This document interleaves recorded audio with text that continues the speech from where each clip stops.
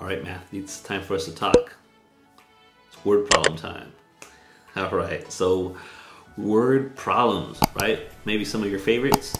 Um, so I've been helping tons of folks out this week with word problems. So I was like, you know what? I bet you there's a lot of mathletes uh, that might be working with this too. Or if they worked with it, they had no idea what they were doing and they need help. All right, so let's jump in these uh, just so we could get an idea. We're gonna focus today on the age word problems. Um, and but again, this thinking that I wanna show you, and I'm gonna be thinking out loud here so you could see how I set these up because setting this up is 90% of the battle, right? Solving, uh, that's the, the easier part, right? Because we have techniques. But setting the scene up, that's usually what takes um, some time, right? That's what usually people struggle with. So let's look at this. All right, so Michael is 12 years older than Brandon, all right?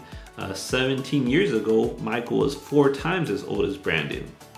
How old is Brandon? I just threw this part in. And how tall is he? Because that's how word problems feel sometimes, right? So don't worry about the, the height. That was just me being me. All right, so Michael, we'll call Michael's age, uh, we'll just say that's M. Brandon's age is B.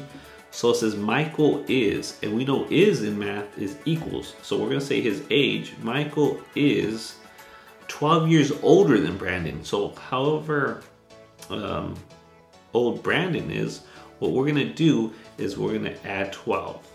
All right, because Michael is 12 years older. And when we're saying older, right, that's addition because we're adding some years in. So that's where the plus 12 comes, right?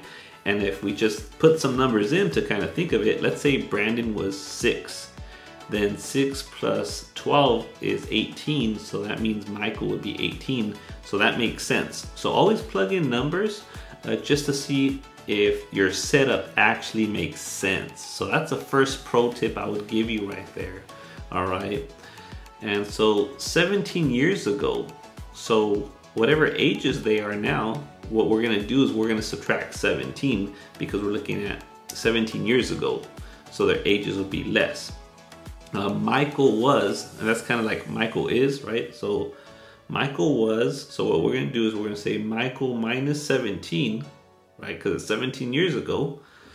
Uh, Michael was four times, so four times as old as Brandon.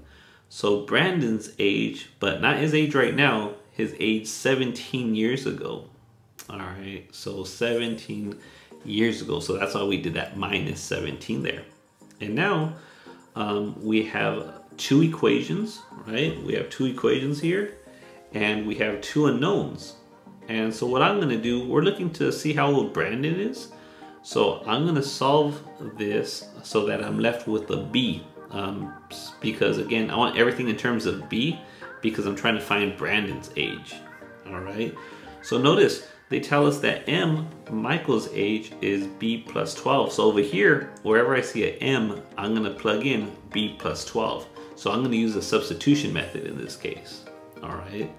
So we're left with B plus 12, right? Because here M, there's my M, is the same thing as b plus 12, and then I'm gonna have this minus 17.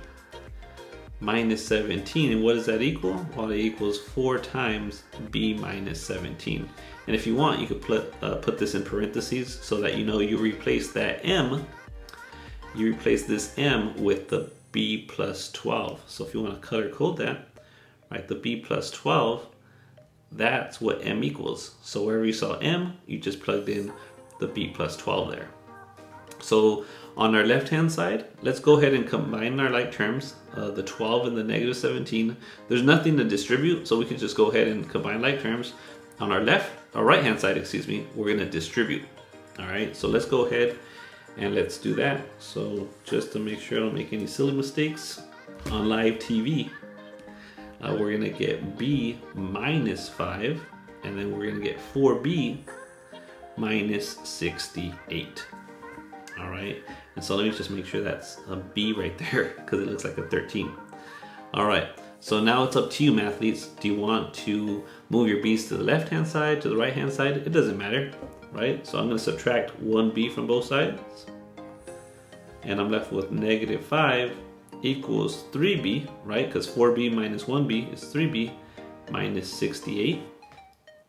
Uh, let's go ahead and add 68 to both sides. So I'm going to add 68, add 68. And let me put my answer up here. So we're going to be left with 63 equals 3b, right? Once we have negative 5 plus uh, 68 there. So 63 divided by 3, we're going to get 21. But just to verify, again, I don't want to make any little silly mistakes. So we get B, which is Brandon's age. So Brandon is 21 years old. All right. And we see that he's also six foot two. Nah, just messing with you. All right, so again, the setup is always where you're gonna make your money. All right, so I wanna do three of these examples. Um, so there's number one.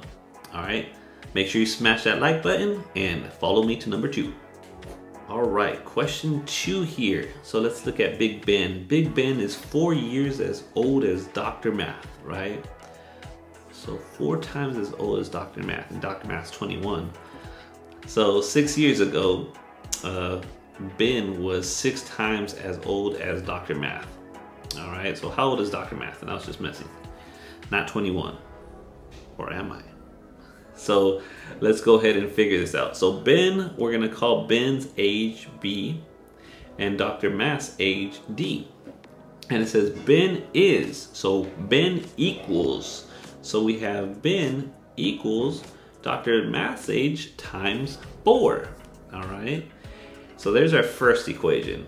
And then our second equation says six years ago. So we know from Ben's age and Dr. Math's age, we're gonna go ahead and subtract six, right?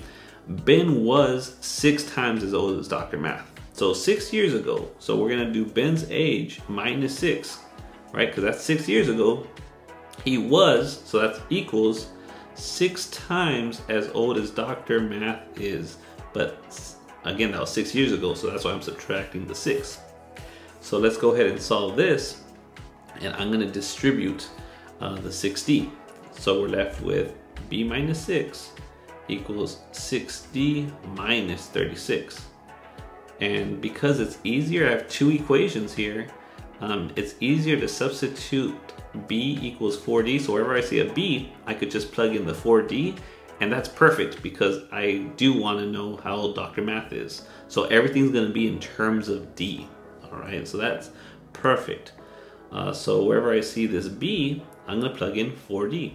So we get 4D uh, minus 6 equals 6D minus 36. And now all we do is we solve. So let's go ahead, I'm gonna add 6 to both sides, or let's go ahead and subtract 4D to both sides. And while we're at it, let's add 36 uh, to both sides.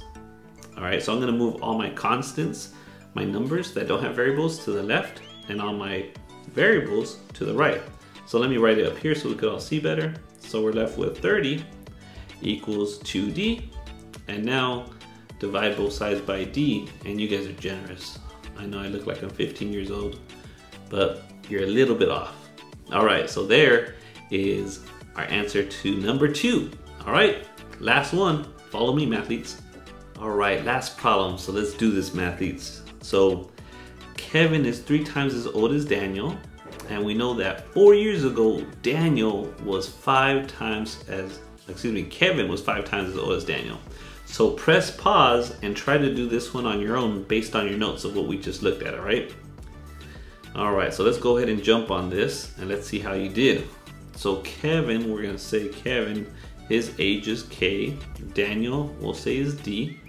And so our first sentence says Kevin is, so Kevin equals three times however old Daniel is. All right. Four years ago, so we know we're to subtract the four from both of their ages, right?